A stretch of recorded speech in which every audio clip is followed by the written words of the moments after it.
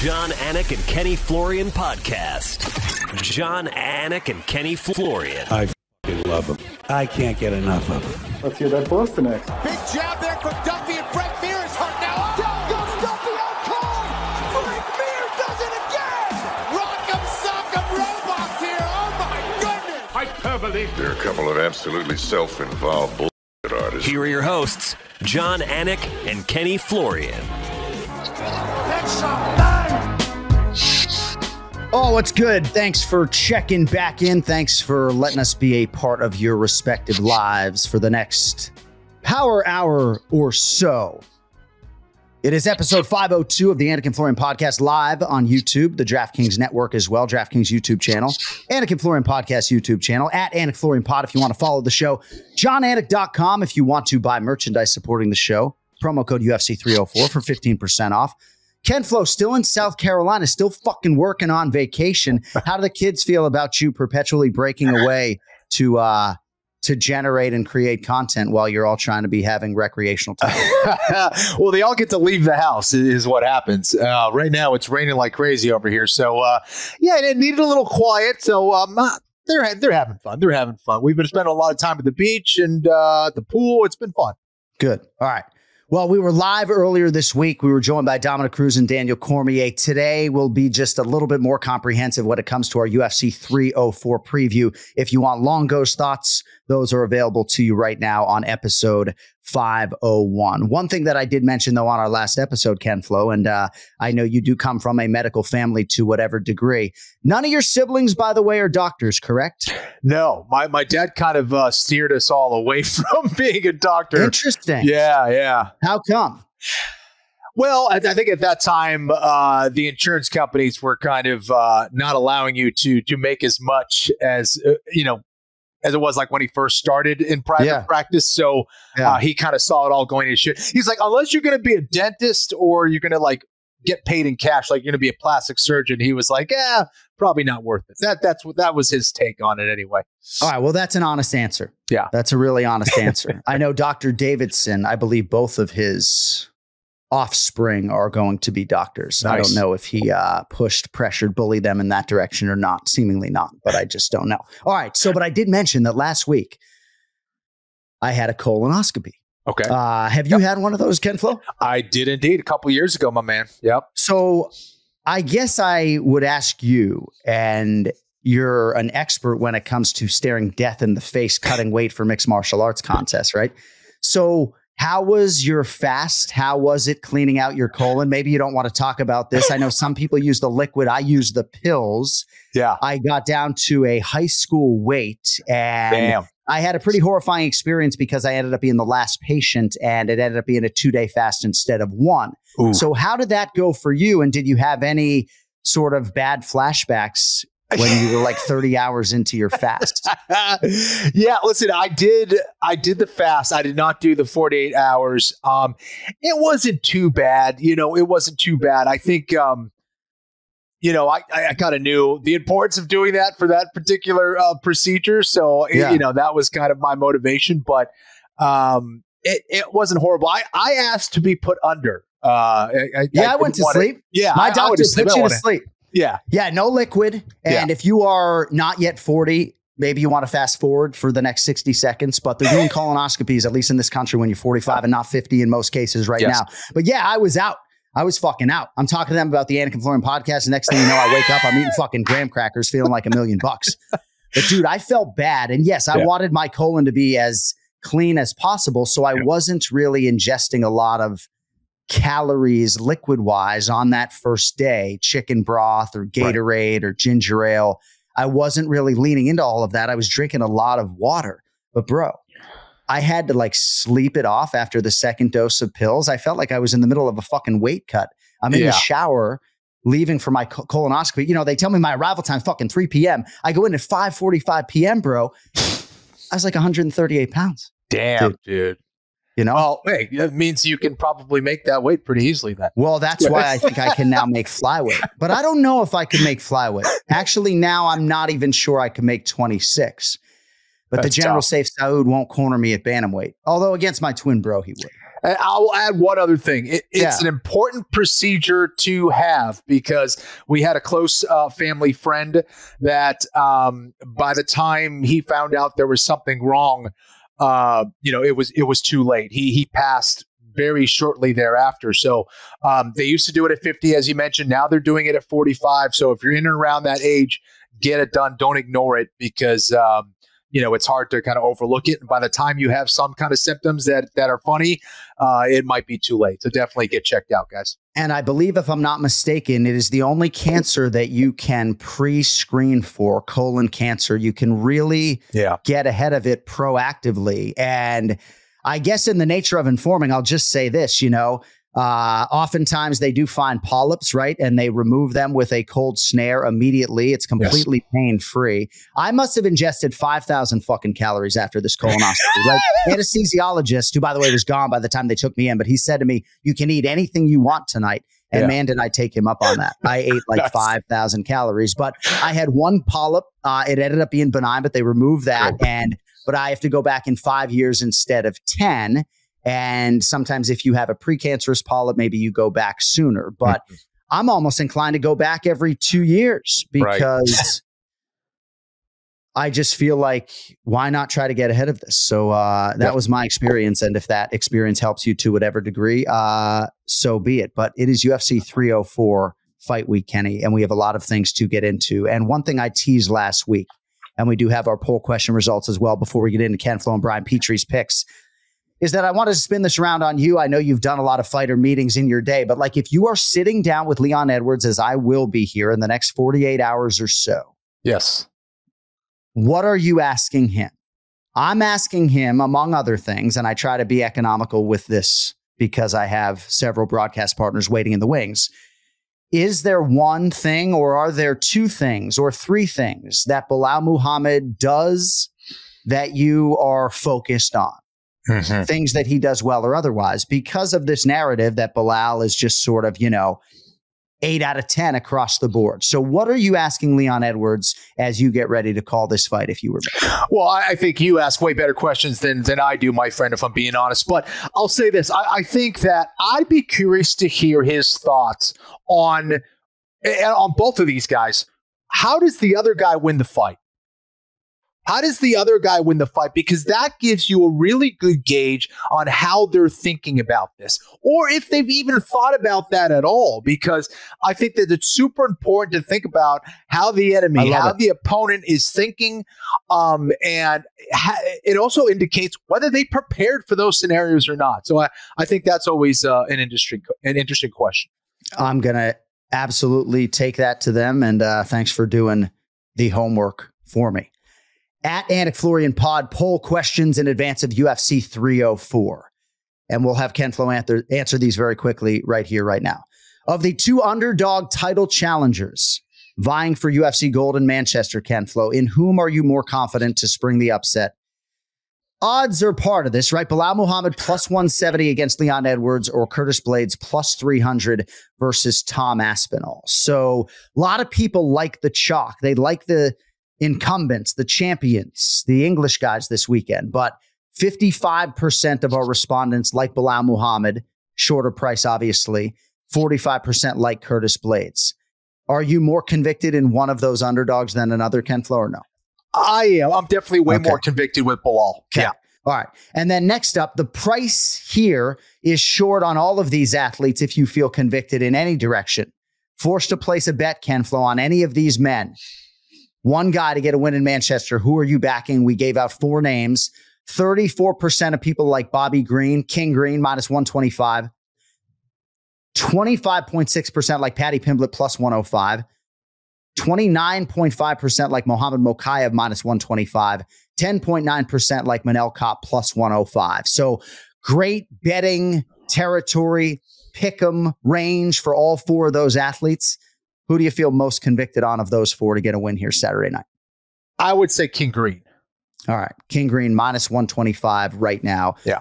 On DraftKings Sportsbook. And to that end, this month of July is ending with an absolute heater, ladies and gentlemen. UFC 304 offering up no fewer than two title fights. And You can get your own crown by jumping in on all the action at DraftKings Sportsbook, the official sports betting partner of UFC. So Leon Edwards, about a two to one favorite right now against Belal Muhammad. It's a rematch for the welterweight title. Interim heavyweight championship also on the line. Can Tommy Aspinall continue to live up to the appreciable hype? We will find out Sunday morning. Whole pay per view main card is absolutely loaded. And speaking of loaded, and stacking and loading. If you're new to DraftKings, you're going to want to hear this. New customers, you bet just $5 to get $150 in bonus bets instantly. All you need to do, download the DraftKings Sportsbook app, not now, but right now, and use code AFPOD. That's code AFPOD for new customers to get $150 in bonus bets when you bet just five bucks only on DraftKings. The crown is yours. Gambling problem? Call 1 800 Gambler or in West Virginia, 1 800 Gambler.net. In New York, call 877 8 HOPE NY or text HOPE NY. In Connecticut, help is available for problem gambling. Call 888 789 7777 or visit ccpg.org. Please play responsibly on behalf of Boot Hill Casino and Resort in Kansas. 21 plus age varies by jurisdiction. Bonus bets expire 168 hours after issuance. Deposit and eligibility restrictions apply. See terms and responsible gaming resources at dkng.co slash MMA. All right. It is now time for the main event challenge presented to you by KennyFlorian.com as we go three mm. wide and welcome in runner up for Girl Dad of the Year in 2023, Yes. Brian Petrie. What's up, Brian? Hey, how's it going? I'm glad you guys talked about a colon at the top of the hour. very important. Best friend of mine who's my age, maybe a couple months younger than me, had colon cancer Oh, at 36. It can happen, baby. Get Yeah. checked. I'm glad you done it. And another thing, John, you weighed 138 pounds. I don't think I've ever weighed 138 pounds. I weighed 100 pounds. And I remember hitting the scale, going over 100, and then never looking again until I was like 220. So I've never been 138. Dude, so I uh, was afraid to weigh myself the next day for fear it would say 158. You know? Like, what are we doing? Like Ken Gosh. Flo going 55 to 78? No, I, it wasn't that bad.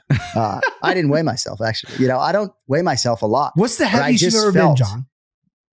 My daughter would probably tell you 164, but anyone Okay. who was with me at Gettysburg College in 1997, Okay. I mean, I felt like I had a fried chicken sub with lettuce and mayo like every night. So, um, I freshman 15 doesn't even begin to describe it. And the fact that I had attractive women wanting to like make out with me at that Hey. time, like what the fuck were they thinking? Yeah. It looked like someone injected my face with fucking ghee butter, you know? The the big the big face the big face gets him, bud. You know you know the big face gets him. I've drawn a few. uh You know I'm like a Venus flytrap sometimes with this with this round face of mine. Uh, yeah. So no, I mean, I don't know. Was I ever 180? Lord, Nah, hope not. not. But if I was in radio and not television, or I did something else for a living, who knows what I would weigh? yeah, So, pronunciation of the week selectively is going to be back. And Leon Edwards is fighting a guy whose name at times can be butchered a little bit. So, Mhm. uh, obviously, we all know this man. yes, And uh, his nickname is Remember the Name, Bry. sure. Who's Leon fighting Saturday night in Manchester? So for the longest time I said Bilal, and then I met Yeah. him in Nashville, and Yeah. I was so terrified of messing it up. But it's Belal Yeah. Muhammad. That's what we're all working towards. Again, Yeah. just a PSA, right, Ken Flo? I mean, that's all we're really talking about. Like Paul Simon, you can call me out, right? I, I've been screwing it up, but yeah, Yeah. yeah, here we go. uh, no, we screwed it up on UFC telecast, but uh, for the record, here is the uh, the audio file. Belal, remember the name Muhammad. Please see this is why I played it. Remember the Yeah. name Muhammad. I'll take the whole thing again, please. Listen to how he says it the first time. What a fucking gangster. It's coming. Belal, remember the name Muhammad. That's it. That's dope. That's dope. Belal, remember the name Muhammad. Dude, the way he punctuates that Mhm. On that first take, Ken Flo, Muhammad, like that sounds better than.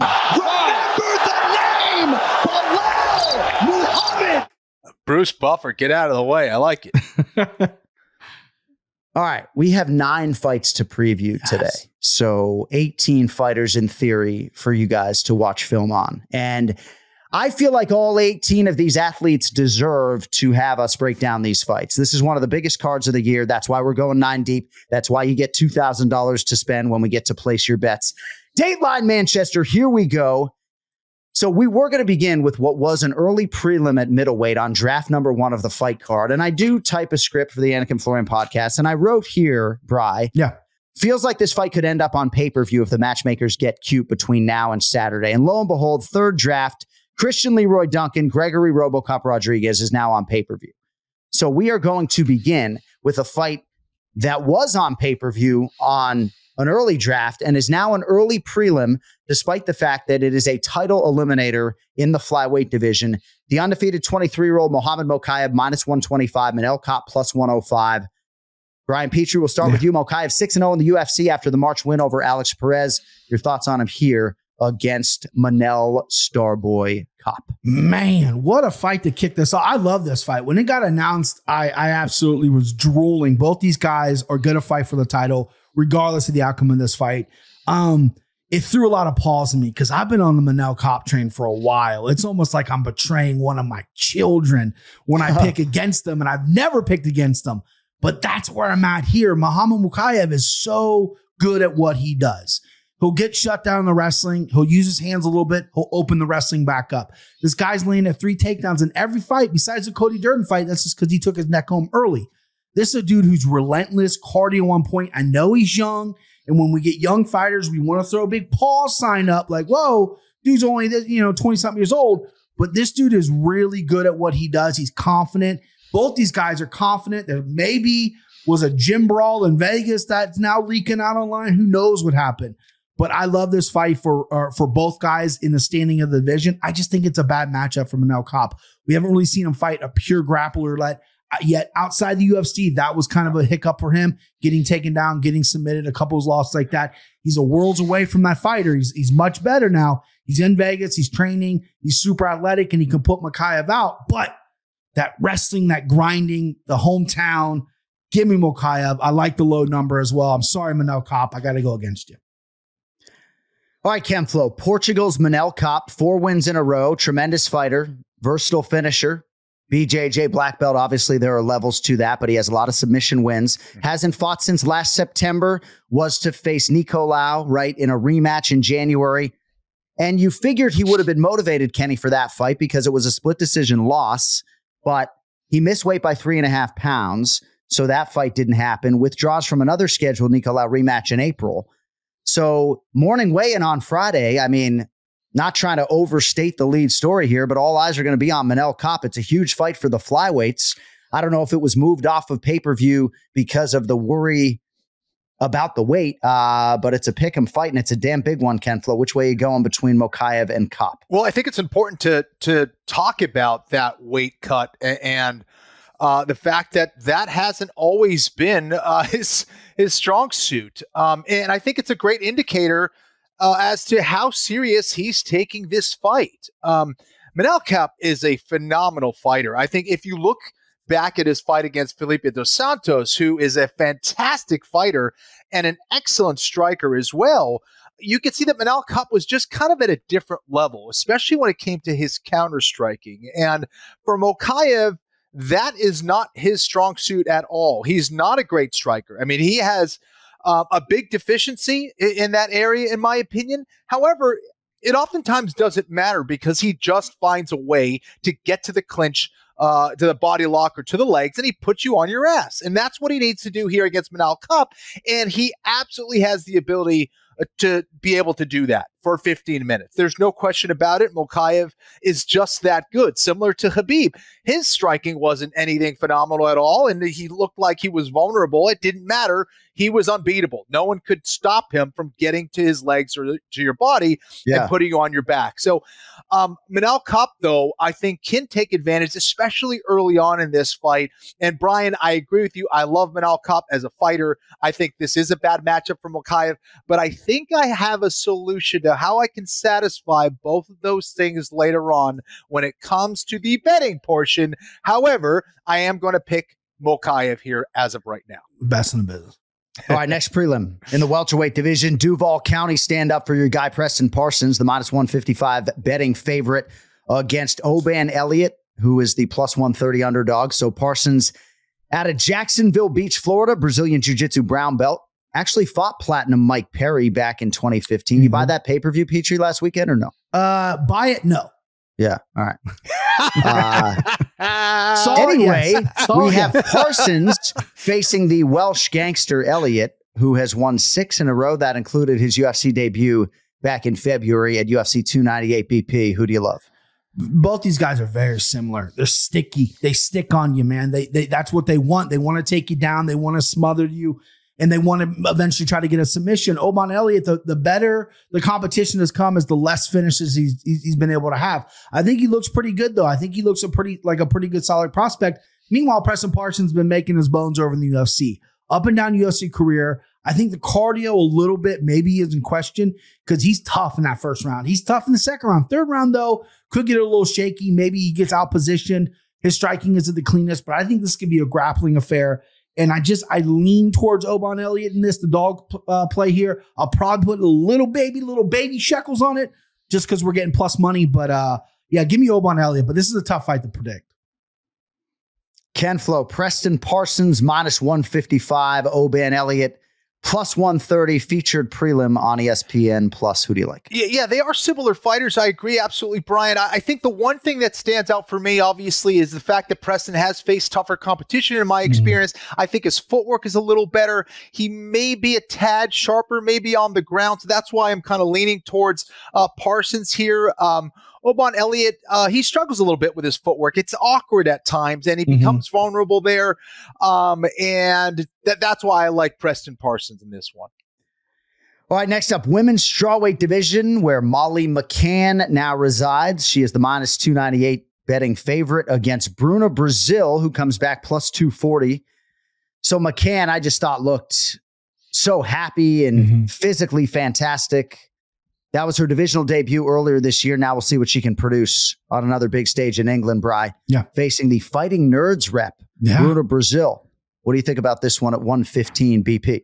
I tell you what, it's hard to win money against the fighting nerds, but I'm gonna take Meatball Molly McCann. She's been in the wrong weight class her whole career. She's not a very, I mean, she's not big, right? I mean, she was two feet in front of me at one point, and she's not a big woman. Right. She's small. 115 is the exactly right, right weight class for her. I know she's had some off uh, off the cage stuff that she's been talking about recently, which I applaud her uh, to deal with everything she's dealing with and get back in there. Mental health is very important. And I think she's in the right spot. She went through a camp with Paddy. They both look to be in phenomenal shape. There's a picture that came out on Instagram. They're both added up. They're both ready to go. My only concern is the numbers a little high on Molly. Bruna Brazil kind of turned uh, Dana White's um, contender series on the head when she hit that heel hook She's good on the ground, and that's where Molly struggles. But since Bruna has had her shot in UFC and has fought UFC competition, she's been inconsistent. I think if Molly works the defends the takedowns, keeps us on the feet, it should be her all day. She could actually get a nice, beautiful uh, knockout, uh, which is what I'm going to play this by to, to, try to shave that number off a little bit.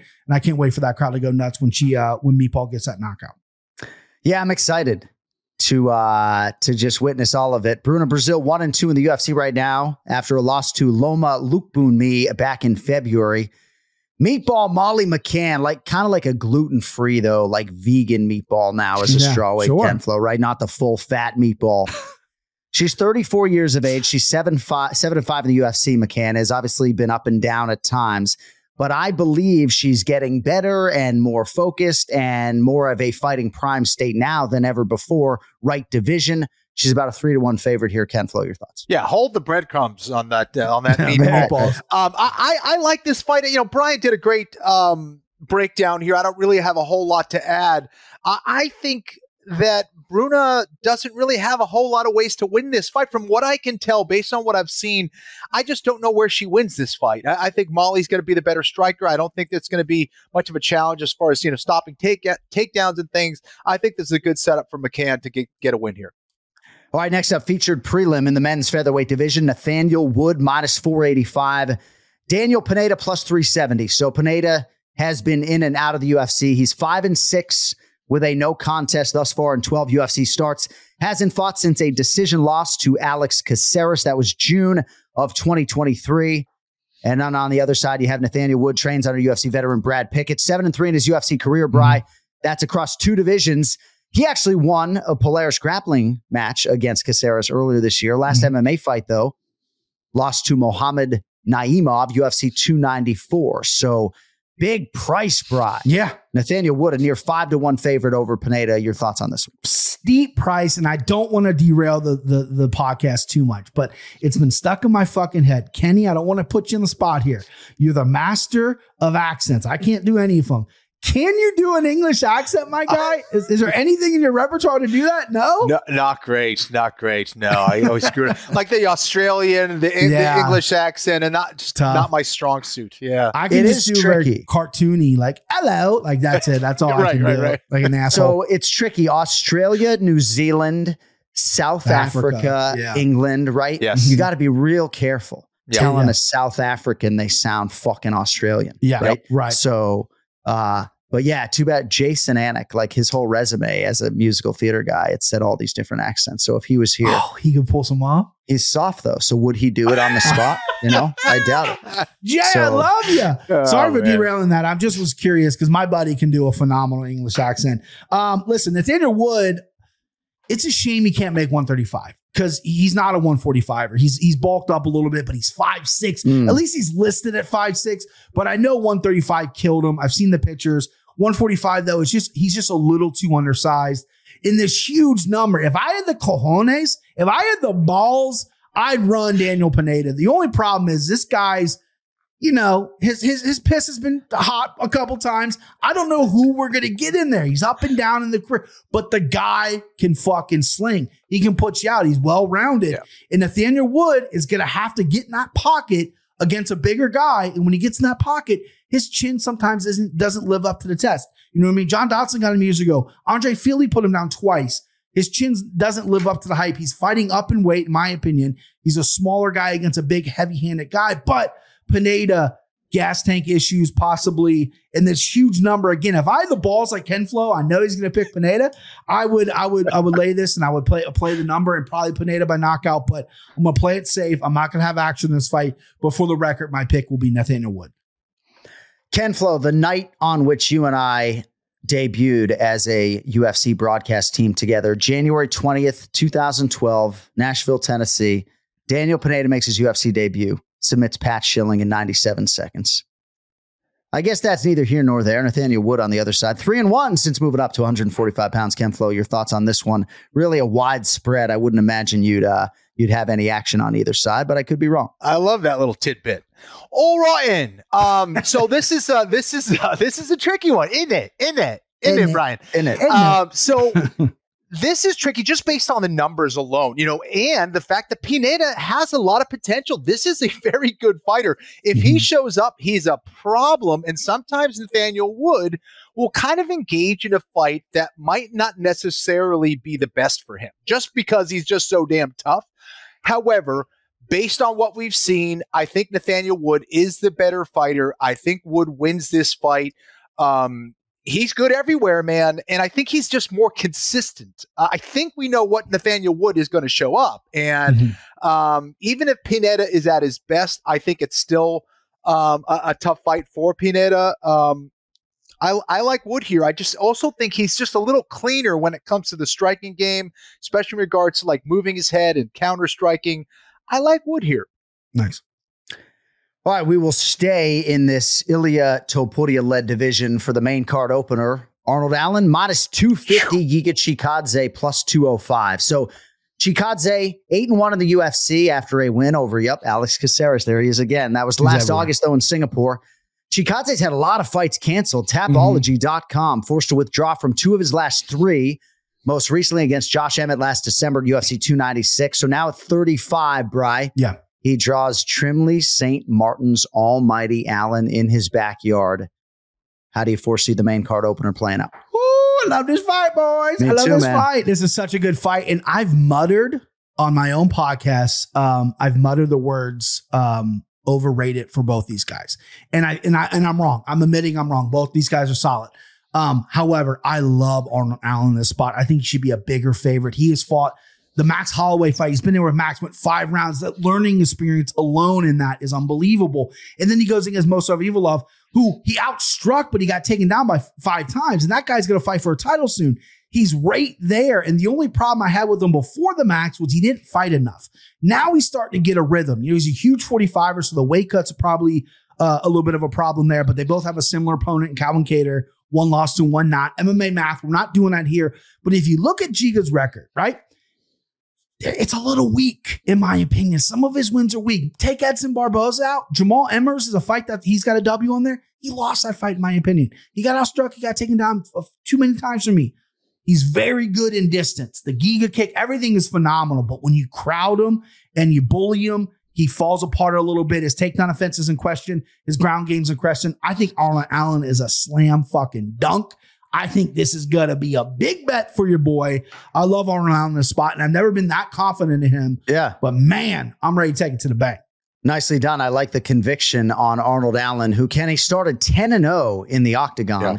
10 and 2 now after a competitive loss to Movsar Evloev. That was in January at UFC 297. Allen was right there. And in terms of contention, still kind of right there, ranked number six in the world, but in a must win situation here if he wants to fight for the belt anytime soon. Allen, the favorite, or Chikadze, the dog for you?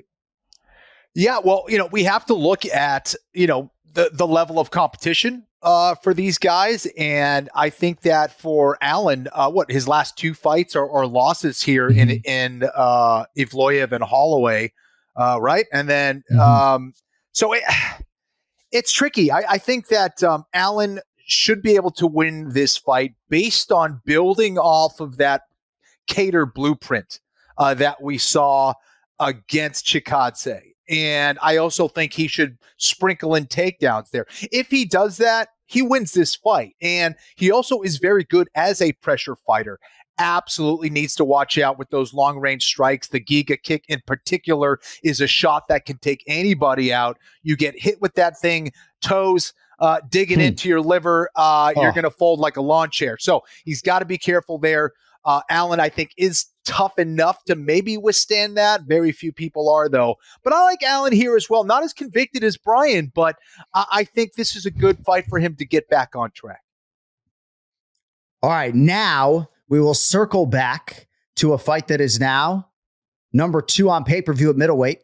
Christian Leroy Duncan, CLD minus 130, Gregory Rodriguez plus 110. So, Bry, CLD mm-hmm. came to the UFC as a much hyped guy. He's three and one since coming, three finishes.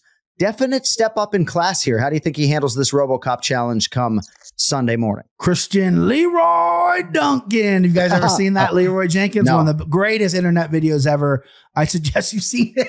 it's Sorry. one of the greatest. I just like hearing you uh, Christian Lee, yeah, yeah, yeah. CLD. This is a guy who got co-signed by Sean Sheehan on this show, and it made Yep. me go Yep. look at him when he debuted. He looked fantastic. He's got really good angles. He the only thing I dislike about him is sometimes maybe his defense isn't what it needs to be, and possibly volume. But he's coming off two knockout wins. He has power. He has some slickness to him. And I never pick RoboCop. Gregory Rodriguez, if you see me in person, I give you permission to beat the piss out of me because I never pick you. I get chirped because I picked Brad Tavares against them, and people were like, "Why are you on the Anik and Florian show? You picked Brad Tavares as Gregory Rodriguez." No knock to Brad Tavares, but I never pick RoboCop. Right? The the the Jordan Williams knockout, who's a 170 pounder, knocked him out, and he's been Yeah. knocked out before. That lingers with me, and I think with RoboCop, he's primarily a boxer. He goes in straight lines, right? And CLD's got good footwork, and he can move around and pot shot him. And I think CLD is going to land a shot here, man. I really do. I wasn't convicted earlier when we uh, earlier in the week when I looked at this, but I'm all in now. Give me CLD and uh, go look up the Leroy Jenkins video because it makes me look like an Yeah, I idiot. will. If you guys don't know what it is. I've heard of that. yeah, I've certainly heard of it. It's but- very It's the best. Early Yeah. internet. Early internet. Hilarious. All right, Ken Flo. So, for a lot of people, when they think of Gregory Rodriguez, I mean, I might think of his strength and condi- conditioning coaches at the Institute of Human Performance, JC and Rio San- San- Santana, because they're my guys as well. Yeah. But when a lot of people think of this guy, Kenny, they think about the fucking cut on his forehead Yeah. in which you could see his skull. but he's a really good fighter. I think maybe bordering on elite. He's six and two in the UFC. I don't know. Uh, two straight wins, wins in four of his last five. Top 15 probably going to be on the horizon for the winner. What are your thoughts here on uh, a pretty close fight on paper? Christian Leroy Duncan, the favorite, Gregory Rodriguez. This is a really interesting fight. You know, listen, Gregory Rodriguez has the kind of power that you have to respect. And if he lands the right shot against anyone, uh, he can put you out. I think where he struggles is exactly what Brian talked about is in his footwork. He he does attack in straight lines, and because of that, he gets hit a lot. CLD is a damn problem. And as good of an athlete as Gregory Rodriguez is, Christian Leroy Duncan is just a step above. The way that he moves, the athleticism that he exhibits in the cage, man, is extremely impressive. Uh, and I, I, don't think enough people are on the Christian Leroy Duncan train as of right now. So if you were to invest right in fighters, this is the Yeah. kind of guy you want to sneak in Yeah. and put your money behind because I, I think it's kind of a bad fight for Rodriguez just based on the the, the crazy angles, the vision that uh, CLD has. It's unlike a whole lot of guys in that division. So I'm pretty high on him as well. Um, so as, as long as he's like defensively solid heading into this, and he's got to watch out for that Rodriguez power uh, because he has that kind of power that can change the fight in an instant. I like CLD as well. Give me CLD. Yeah, Yeah. sure. Nice. And shout out to Sean Sheehan as well, Yeah. as Brian mentioned, for the uh, advanced scouting and uh, promotion paying attention. He gets added to pay per view against Gregory Rodriguez. And how fucking good is this middleweight division right now? Really good. All right. Featured bout of lightweight boys, UFC 304 live on pay per view. Another close one on paper. King Green minus 125, Paddy Pimblett plus 105. So Green going to be 38 in September. Kind of looked 28 in defeating Jim Miller at UFC 300 back in April. Now he makes his 26th UFC appearance against Paddy the Baddy Pimblett. Pimblett 5 0 in the UFC, Brian, but Mhm. 21 and 3 as a pro, so Mhm. maybe more experience than a lot of the masses and or naysayers may think. What do you think about this spot for Pimblett against King Green? I love this spot for him. Actually, I do. This was this was one when it first got announced. I said that makes sense because I thought our boy uh, Steamroller Favola was going to get this spot in, in, in his King Green. It makes sense. They've been chirping a little bit. I think Bobby called him out at one point. Bobby's fought fucking everybody. He's been in there with everybody. And I love that because they've been slow. I don't care if you're a Paddy fan or hater or whatever. The truth is they've been slow playing. They know what they have. This guy's charismatic. He's got the riz and he's he's a good every interview he does is electric and he needs to turn that into an electric fighting style because his last two fights out have been a little meh if, if i'm going to say so myself but there's a star there paddy and this after this there's no turning back baby gloves are off because king green no disrespecting king green but he is a benchmark for this division you get past him you look good against him heaven forbid you finish him now we're talking right but that's easier said than done right bobby really he's only been submitted twice those both were back in 2009 one was by Dan Lauzon, who was, well, you know, we know Joe. Dan got him back in 2019 or 2009, excuse me. Besides that, he hasn't been he hasn't been uh, submitted. He gets finished on the feet sometimes. You know, he gets knocked out, carries his hand low. You know, as older age gets gets to him, he's 38. The reflexes aren't there, so I don't see Paddy knocking him out. But Paddy is very confident that he's gonna get this fight to the ground and dominate. He can get Bobby down. Bobby isn't the, the world class takedown defense, but he's hard to hold down. He's hard to keep down and we really want to see how heavy Paddy is on top. That's his bread and butter. People think he might be a striker because he his UFC debut he got rocked and he knocked somebody out. His bread and butter is on the ground and on top and on the ground. That's what he's gonna have to do here. I'm surprised he's not a bigger underdog because there's a lot of Paddy haters out there. The MMA Twitter thing is I can't wait to fade Paddy. I can't wait to fade Paddy. This is a spot to fade him, and I'm actually going to rock with him. I think he's going to win a decision here. I think he's just going to smother Bobby, but this is going to be no easy feat here. Bobby King Green, or just King Green, excuse me, is a legit dude and could knock Paddy out. No, no problem doing it. But I just see Paddy getting it done here, hometown soil. Hopefully, he's got his orange shorts on that he's been asking for, and Yeah. we're going to see a really good performance from him. All right, I know Ken Flo's on the other side. We'll let him explain here in like 15 seconds, but I heard the name Dan Lauzon, and maybe Yeah. we should book Joe Lauzon on the podcast, Kenny, at some point in time so he can tell the story, if memory serves, of his dad like needing him to beat the fuck out of Dan at a family outing seen the video. because Dan, yeah, there's video, Yeah, there's right? video. So, Is that a pig yeah. roast? Uh, so yeah, all right. So we will uh we will book Joe Lauzon and hopefully he hasn't heard me haze him on the previous 501 episodes of this Jon, I, program. Jon, but, I uh, think it's got back to him. I think he's. I think words got back to him. yeah, no, me and Joe are tight. You know? I love Joe. Uh, but uh, me and Keith Florian will have some Joe Lozano nice.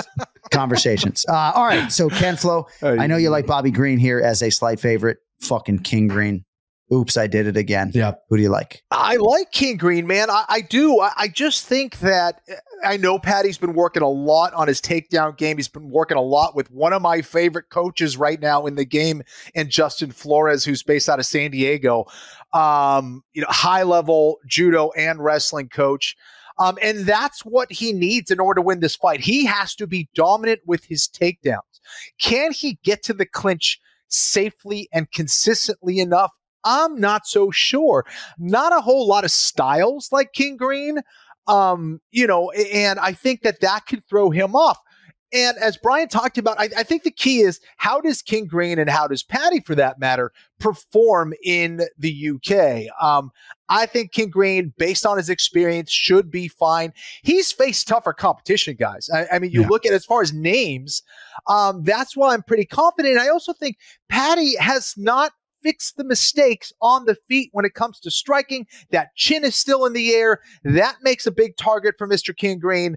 And I think he's going to land shots. I'm not sure he's going to finish them, but he certainly can. So watch out for that. I like King Green here. I might even like him pretty big.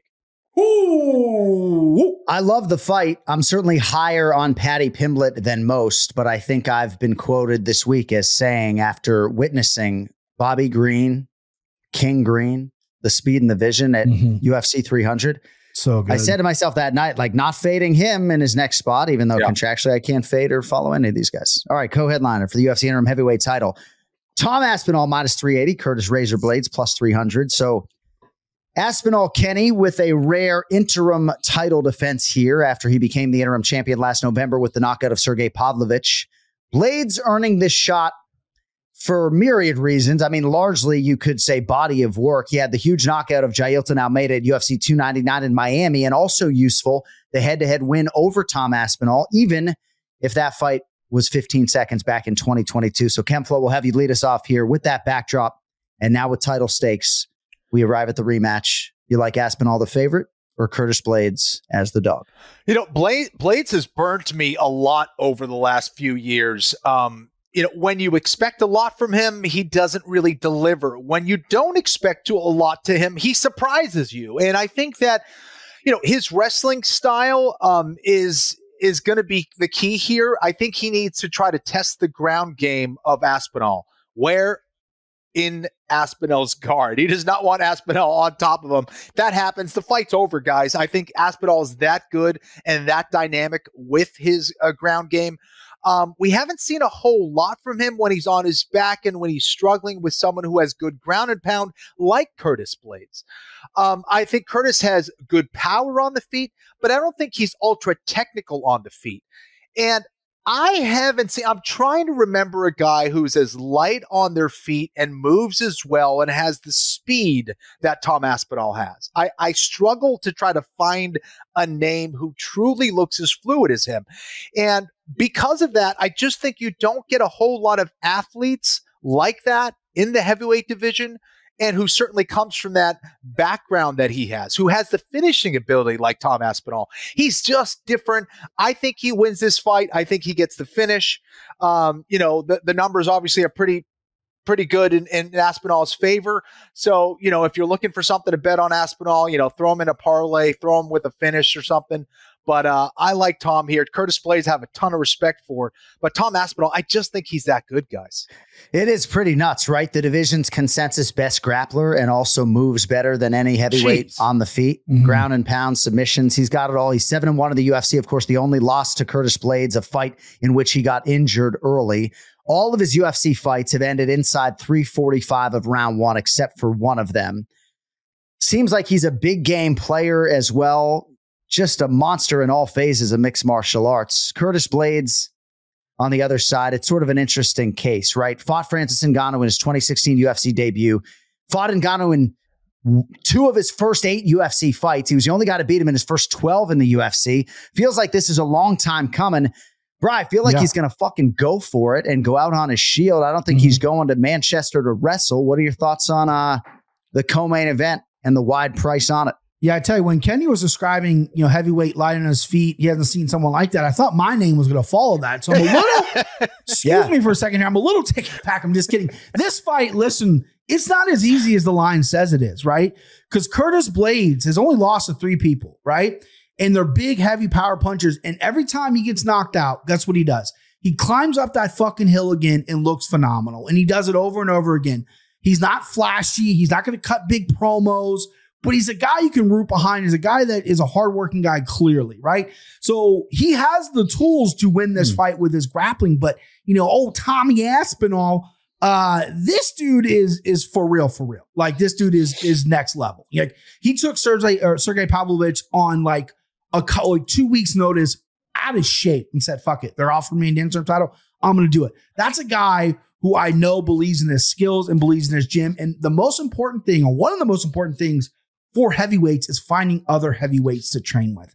Big boys are hard to come by. Big boys that are good are hard to come by. Brock Lesnar had a camp up in Minnesota uh, where he just had big boys out there. Pat Perry went out there. Yeah. That's smart to do because you need to feel another huge guy and toss him around. And Tommy has that. Not that he's so and he's soaking his knuckles in gas, an old gypsy thing that he's Yeah. doing. Like this guy is tough as shit. I love Aspinall, but I don't want to load up and say he's going to get it done when Curtis Blaydes is a legit dude. I think the line's a little wide. I think you could take Curtis Blaydes and be okay with it at that plus 300 number, but I'm already invested too much into Tommy Aspinall. I'm not going to turn my back on him now like I did Manel Kape earlier. Give me Tommy Aspinall. I like him by knockout too, quite a bit uh, as well. It's amazing how much media has changed since Ken Flo's prime. I mean, Ken Flo was soaking his elbows in fucking petrol like 15 years ago. Nobody reports on. Savage. All right, main event for UFC 304 Edwards versus Muhammad Act 2. Leon Edwards minus 205. Belal Muhammad plus 170. First meeting, of course, short notice fight for Muhammad. It was during a global pandemic. It was at the mm-hmm. UFC Apex in a 25 foot octagon. The general Sayif Saud was in Belal Muhammad's corner out of necessity. I'm not sure he has cornered him prior nor since. Since that fight, Muhammad 5 0, Edwards 4 0. Three of those, of course, title fight wins for Leon Bry. Yeah. He's become the standard upon which all welterweights are judged. Your thoughts on him in defense number three against Belal Muhammad? I love this fight, boys. It finally happened. I mean, we obviously we we everyone here, this podcast, whatnot, Jason Eric, we have a connection with Belal Muhammad. But Leon Edwards is no joke. Like this dude is a legit, legit guy. And I had to take all that aside of how much I like Belal and how much I respect him and really break this fight down based on what I see. And what I see with a guy like Leon is a guy who finally reached the mountaintop against Usman, who the first fight he was objectively losing, got taken out five times, and then found the head kick. Second fight, that head kick also gave Leon so much confidence. Goes into the second fight, very close with Usman. I did have Leon winning that fight, but it was very close. Then he gets Colby, right? And Colby looked kind of like a shell of himself, if I'm being honest with you. He shut him out. But a lot of those fights, the Usman 2 or the Usman 3, I guess, and Colby, there wasn't a ton of volume out of Leon. It was him hanging back, him trying to main, maintain his distance, to throw those kicks that are phenomenal and stop takedowns. He didn't want to throw too much because he knew guys were shooting on him. He did get taken down by both guys. Usman got him down three times in the, sec- uh, the third fight, and Colby got him down twice. He also took Colby down. His takedown defense is admired by guys like DC, which I don't take lightly. He developed a two on one hand technique that DC has talked about. That's phenomenal. But you got Belal Muhammad, and everyone's talking about the first fight. Really, it comes down to the head kick that got through that wobble Belal, right? That, that's what it was. There's only 18 strikes landed, but Leon looked to be sharper and, and more on fire. But Belal gets better as it goes on. And if you look at who he's fought since that fight and what he's changed, the footwork we shot, we saw against Vicente Luque, that's something, the side to side movement we haven't really seen. The fact that he didn't go for one takedown against Gilbert Burns, outstruck him, landed 132 strikes. He finished Sean Brady, which no one's been able to do. He's not getting enough credit here. He's just not. For some reason, the fans aren't rallying behind this guy who's a great dude, who's a good humanitarian, funny as all get out, and is a great fighter and deserves this shot. The fact that this almost got skipped on him by like a Shavkat Rakhmonov, who's amazing, but the fact that this almost got skipped over, or rumored to get skipped over, I think is an outrageous. This fight needs to happen. I'm glad it's happening. I'm glad it's happening in, in England. Leon Edwards is phenomenal, but guess what? It's bully season. Give me the and new, baby. Wow, And we're going to be wow. interviewing him on the Anik and Florian podcast with a shiny new belt. How about that? Brian Petrie likes the underdog. Belal Muhammad, Ken Flo. Seemingly, we're getting the best versions of both of these men. Really is a fight that needs to happen. Who do you have in the main event at 304, kid? And and that's it, Jon. You know, you have two guys that are truly in their prime. You look at their records, they're almost identical.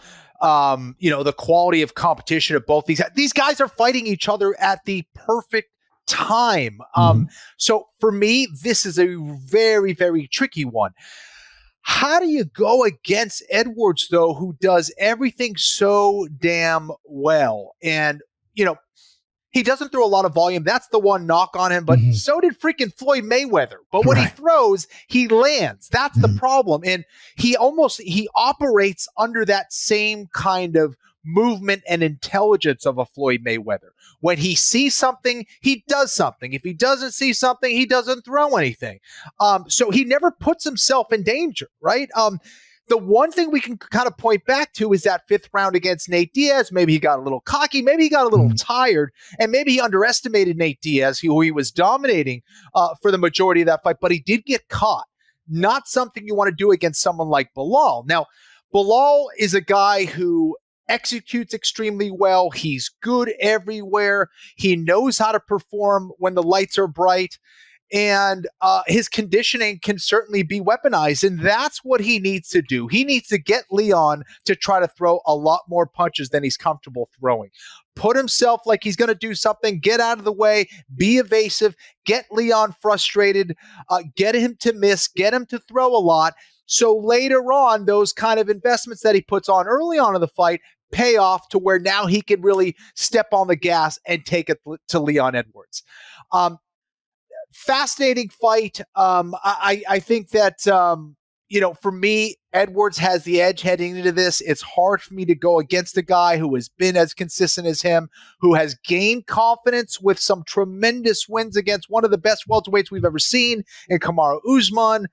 Um, and uh, for me, it, it's tough. Am I going to bet on that one? I'll tell you right now, I am not. It, it's that close. I, I think Belal has a great shot. Belal has a great shot, and uh, I can't wait to see it, man. Wishing him the best of luck. Uh, but Edwards, man, he he's so damn good. He's so ga- so damn technical. Yeah, might be the best pound for pound fighter in the world. Yeah. All right. One final act. Place your bets brought to you by jonanik.com, where you can get 15% off your One More Sleep or Anik and Florian podcast merchandise design with promo code UFC 304. Also, Belal Muhammad's merchandise for UFC 304 is up at jonanik.com. 100% of the proceeds go to those in need in Gaza. All right. We update the standings. UFC Fight Night, Lemos versus Jandiroba. New rule, by the way, if you have a fight that gets no action before Saturday night, you can spend that extra money, Bry and Okay. Kenny in the future. Just push out a tweet, tag at Anik Florian Pod and everybody associated with the show. Good news. Because as you're chasing Ken Flo, certainly ni- would have been nice for you, Bry, to have that $500 that was no action with the straight wager on Jin Yong Park. Right. You hit your other bet, 500 straight on Mean Machine Steve Garcia. That paid you 350 to 11. So that is your plus number for the week. Shaves your nut down to 526.12 for the year. Team Florian year to date was about $1,459. You went with five $200 straight wagers. Two and three, you hit on Garcia and Jandiroba, lost on Durden, Algio, and Khrushchevsky. Total for the week for Ken Flo, minus 318.30. Year to date, 1140.72. The lead for Team Florian, $1,666.84. And that brings us to your selections and your wagers for UFC 304. As is the case for all pay-per-views, Bry, you Yeah. will have $2,000 instead of the instead of the traditional 1000 to spend. So uh 2K on UFC 304. How are you splitting up the cash, BP? So you know, I, I I try to be modest, right? But I'm getting out of the negatives after this weekend, boys. I'm Let's getting go. into the plus money, and we're starting off with a G, one G, one bar, one K on my guy Arnold Allen. I I'm feel it, feel it down to me, Bev. Arnold Allen, one thousand dollars. Let's go, Belal. Remember the name slash and new Muhammad for 300 Let's go Tommy Aspinall by KO. The number's not out yet on DraftKings for another 300. Let's go Patty the Batty for 200. And then just a little two legger, a little two legger, a little cutesy, cutesy two legger parlay. Muhammad Mokaev in CLD, Leroy Duncan, plus 190 on DraftKings Sportsbook right now, $200. All right, so BP, $1,000 on Arnold Allen. That'll pay like 400 He also mm-hmm. likes Bilal Muhammad for 300 bucks. Tom Asp- Aspinall by knockout on the proposition front. Patty Pimblett straight for 200 and a two leg parlay. Muhammad Mokaev and Christian Leroy Duncan. Ken Flo. Lead is still robust. How are you spending your $2,000 at UFC 304? Okay, this is kind of silly. I'm not sure exactly why I'm doing this, but I'm, I'm trying to hedge. I'm trying to hedge on this Mokaev Kape fight because I Sure, do think sure. it's interesting.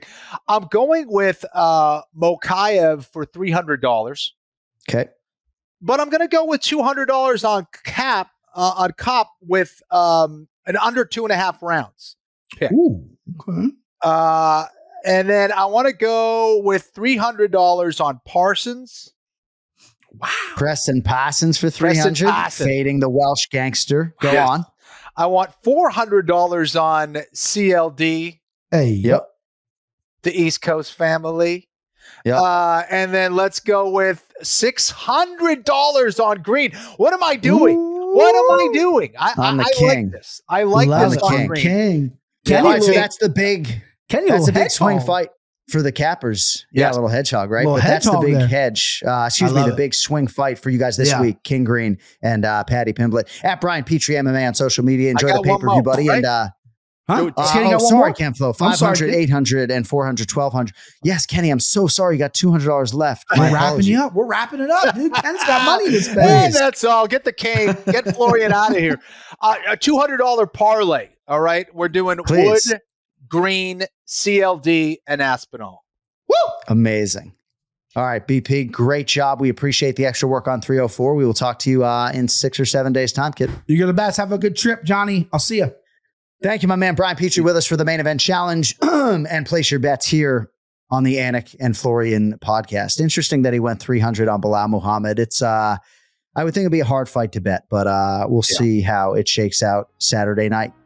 There is another episode from earlier this week. If you are so inclined to check that out, featuring Dominick Cruz and Daniel Cormier. Thanks everybody for supporting the show. If you want to check out our interviews with Georges St. Pierre and Kamaru Usman and Justin Gaethje and Dustin Poirier, and Chris Weidman. Those are available on episode 500 on the DraftKings YouTube channel right now. Thanks to BP, thanks to Ken Flo, thanks to Cody Merrow. I am very excited to be wheels up to Manchester, England, and uh, we'll be back with all of you fine folks to recap it probably live on Monday morning.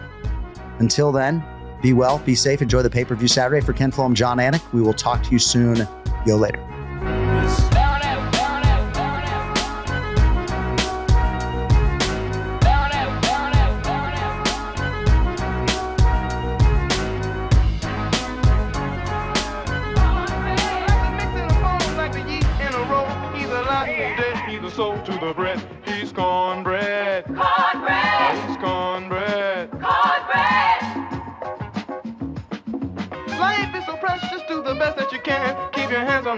He's the open man.